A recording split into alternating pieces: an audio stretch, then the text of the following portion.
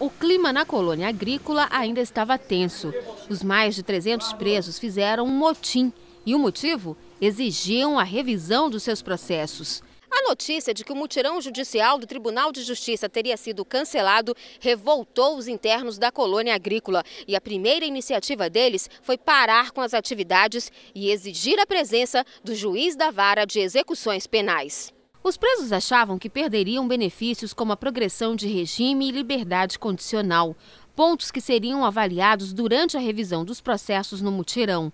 Este interno falou sobre a reação ao receber a notícia do cancelamento. Todo mundo estava ansioso para que houvesse esse mutirão. Inclusive eu fui prejudicado, que a minha, o meu caso é extinção de pena.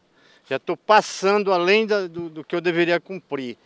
Então, essas outras pessoas aí, 130 internos que restaram aí, que o CNJ veio para resolver esse problema aqui. Só que ele não resolveu nada. O juiz Amarildo Mazuti conversou por mais de duas horas com os internos e garantiu que os mais de 100 processos da colônia serão apreciados até o início de dezembro.